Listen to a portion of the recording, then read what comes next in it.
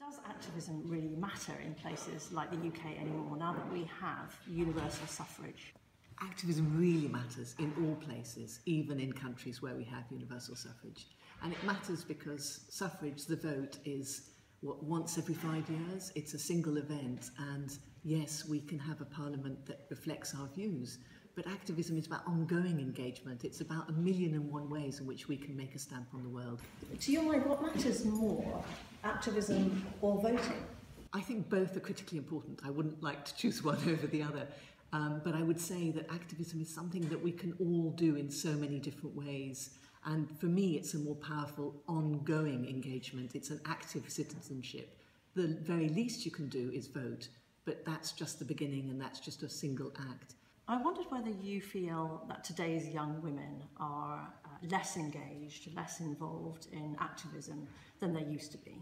Um, in the past, in the times of the suffragettes, clearly you had women, young girls, who were involved and got out onto the streets and marched and uh, were involved in the hunger strikes and all the rest of it. So they sacrificed a lot in their activism. I think the difference today is that in the UK at least, we can be activists without the level of suffering, abuse and all the rest of it that they suffered. What do you think her perspective would have been on those terrible attacks in Paris?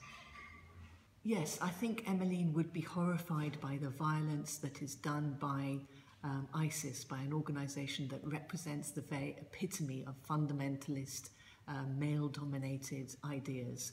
You know, that uh, what they have done in terms of the violence and the bombing is an abomination and it is representative of the very opposite of what she was about. The suffragettes were militants they were militant in a context in which the government forced them into militancy because of broken promises, years and years and years of prom broken promises. So what they did was they ratcheted up uh, when they were not allowed democratic ways of uh, making their position heard, um, they found alternatives.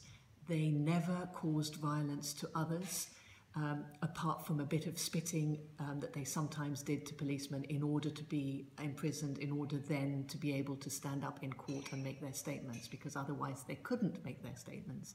So um, it was all about being willing to accept violence to themselves, the, the hunger striking, the for, being force fed, willing to take that violence in order to be able to make a statement. It was never, ever about violence to other human beings what Emmeline would be supporting is all those women who are desperately trying to find a little niche, a little window of visibility in the societies that they live in.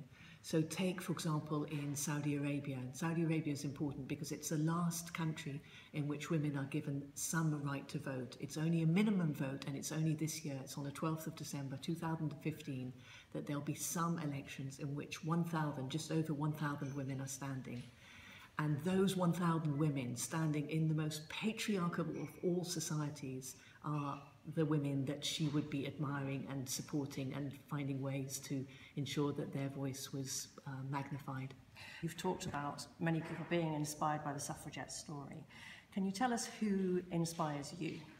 I'm inspired, I suppose, politically by people such as um, uh, Hillary Clinton because of her longevity in the whole political world, the fact that she didn't give up, the fact that she is now possibly going to be the first woman uh, head of state in, the, in the States.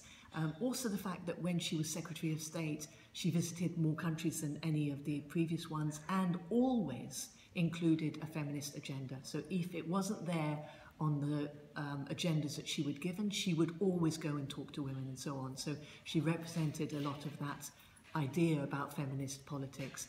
Um, Aung San Suu Kyi, who's just finally, finally been able to um, win in the elections in uh, Myanmar, in Burma, also is an amazing character after 15 years of being house under house arrest and being silenced. Also, in terms of coming back to that issue of activists, there are some amazing activists, young women. Malala um, comes to mind. Laura Bates here, who um, is just the most outspoken, the most incredible young um, journalist I, have ever come across. Really um, a, a powerhouse, if ever the, there was one, and she's the founder of the Everyday Sexism uh, campaign. I wondered what you think. Um, Emmeline Pankhurst, your great grandmother, what would she have made of today's activists, do you think?